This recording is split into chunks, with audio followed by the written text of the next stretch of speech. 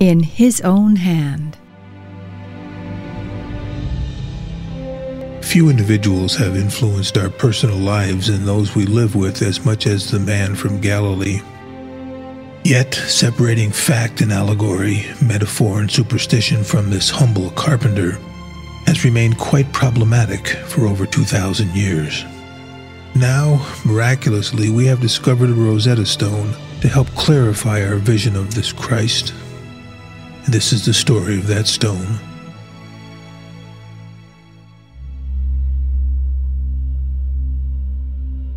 The air that evening was sweet with sweat and olives as he examined the inscription on the piece of leather.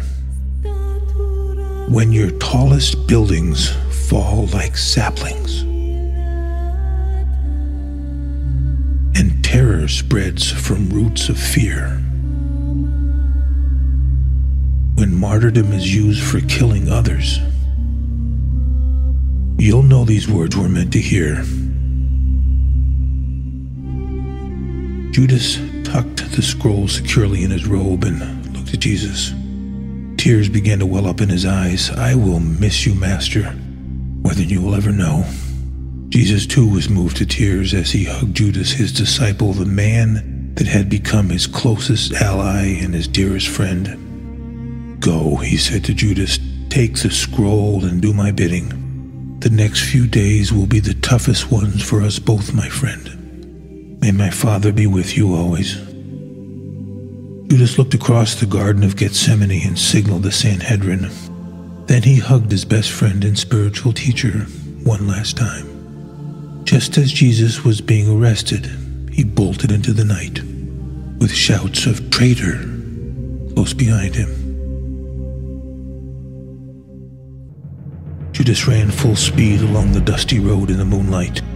He stopped at the predestined place and greeted his friend Michael from the ascetic order of the Brotherhood of the Essenes. As they embraced and Judas handed him the scroll, Michael looked into the eyes of a tired and weary warrior a man who carried the heavy weight of knowing that he had just sent his best friend to his death. Is this the document from Jesus? asked Michael. Yes, and that piece of leather around it carries strict instructions as to when it should be opened. Then they shall be observed, even if it means protecting it with our lives. When Judas learned centurions had wrapped a crown of brambles around the head of Jesus, he realized the full extent of what he had done. Unable to contain his bitter sorrow a day longer, he hung himself. About 200 years after the death of Jesus, the Romans killed the last Essene.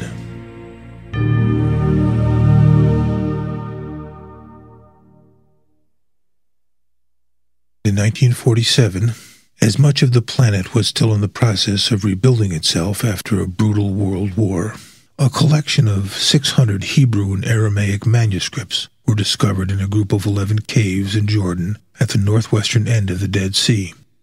These became known as the Dead Sea Scrolls, and the documents themselves, believed by historians to be the main body of the Essene Library, date from the mid 3rd century BC to a hundred years after the birth of Christ.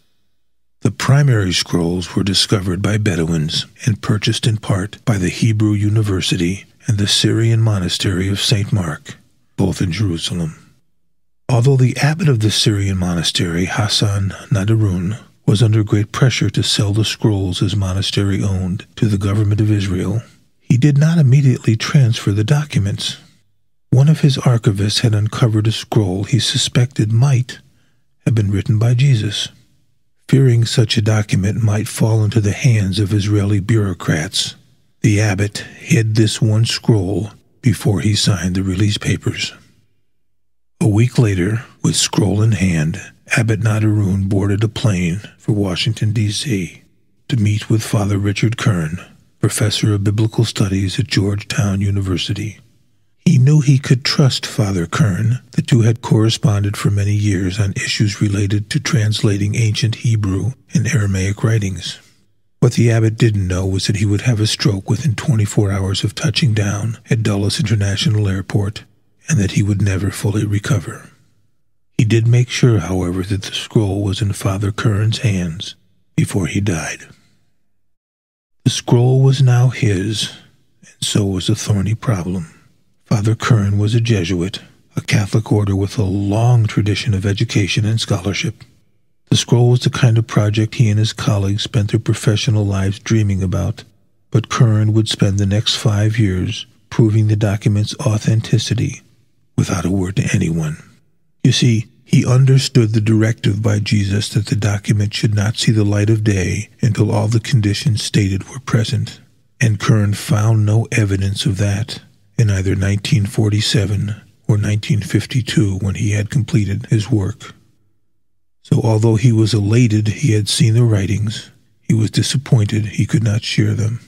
He put the scroll in a safe deposit box, wrote instructions to two individuals on how to retrieve the document in the event he should die prematurely, and went about his life.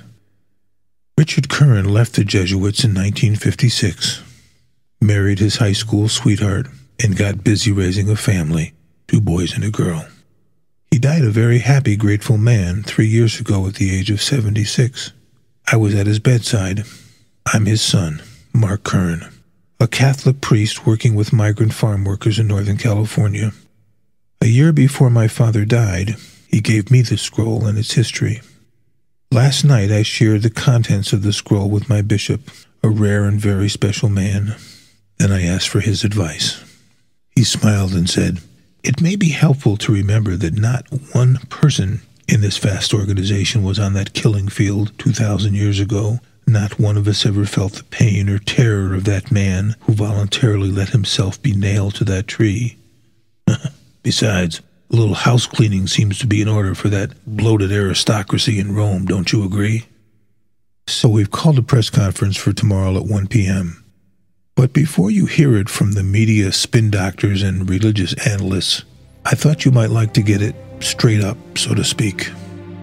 These are the words of Jesus of Nazareth, the Christ, the only words we have in his own hand.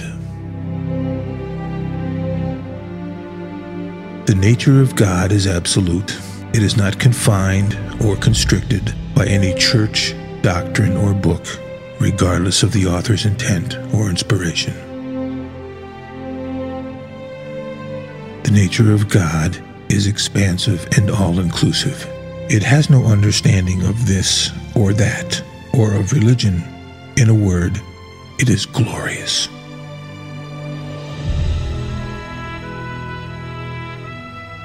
Nature of God is pure creativity. It seeks to examine its own divine nature by creating more of itself. The nature of God is compassion. It is neither punitive nor vindictive. The nature of man is the Spirit of God taken form. Nature of man is without blemish. We arrive in a state of majesty and glory. From that moment forward, we create our lives such as they are.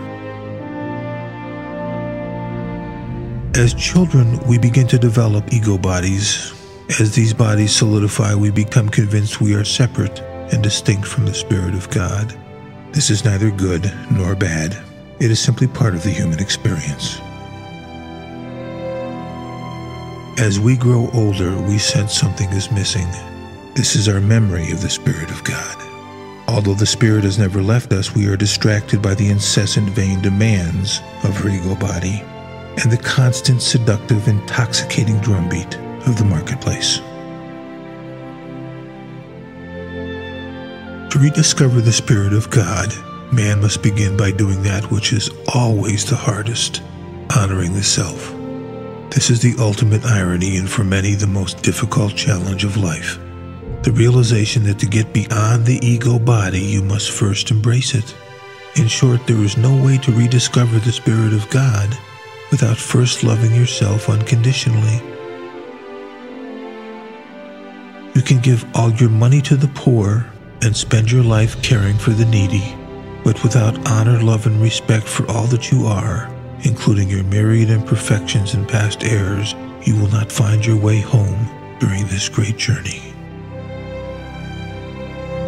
The rediscovery process, although unique for everyone, has the same foundation turning the stream of compassion within, the practice of stillness, and finally surrender. The cycle of birth and death is a natural and essential part of the human experience. Those who were fortunate enough to experience birth will also be fortunate enough to experience death. The time we waste fearing death can be put to much better use. It is only your ego body that will suffer biological death and decay. The Spirit of God is never born or dies. Thus, nothing extraordinary will happen at the moment of death.